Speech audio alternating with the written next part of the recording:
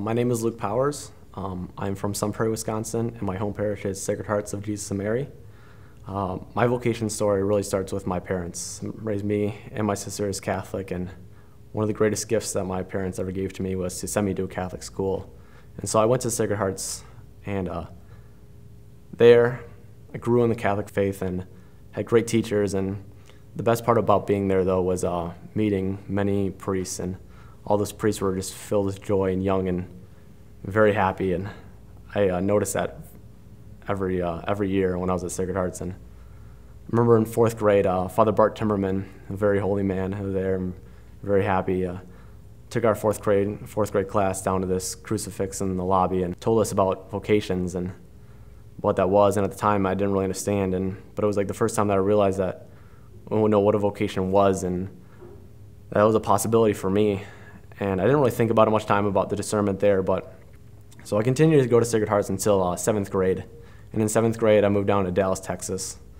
And I was down there, and we lived a very good life, and things were going very well. And I joined a parish down there, St.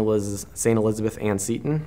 And I met another young priest down there, Father Jason, his name was. And once again, just a very happy young man, and I saw that in him. And during that time down there, is even though that we had all these great things and what society and culture was telling us that you know if you have these or you have this you'll be happy. It just wasn't fulfilling or bring me great joy in my life. And at the time i was still like going through the motions at church you know going to sunday with my family but not really meaning anything you know praying before meals but didn't mean much at the time. And during my year down there my freshman year down there i started to really look at you know like what does it mean to be catholic and took some religious education classes, uh, getting ready for confirmation.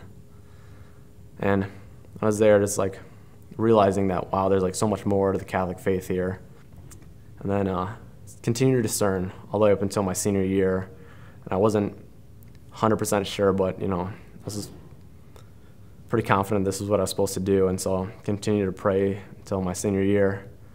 And then I asked uh, Father Paul Renze, who was the vocation director at the time, a very humble and holy man as well. And he uh, talked to me about the priesthood and said, you know, this is an option if you're discerning and stuff. And at that time, I went out to uh, Seton Hall at St. Andrew's College Seminary there and met some of the guys and realized that all the guys there are, you know, young men just like me and studying to be for priests. And these guys are have a very happy life and very joyful. And so after that, I came back and I said, you know, give me an application. I want to sign up. And so soon thereafter uh, of getting my application in, I was accepted as a seminarian for the Diocese of Madison.